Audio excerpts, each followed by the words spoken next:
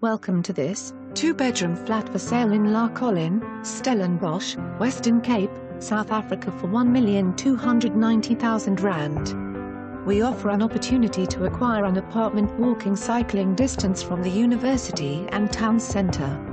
The apartment is very private with a small balcony facing north. The property offers two well-proportioned bedrooms with built-in cupboards and ample space for a study desk.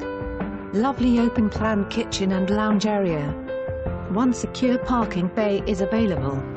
The complex has been recently painted and it offers 24-7 manned security.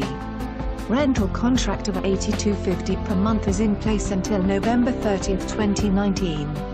For more information on this property or to arrange a viewing please contact us.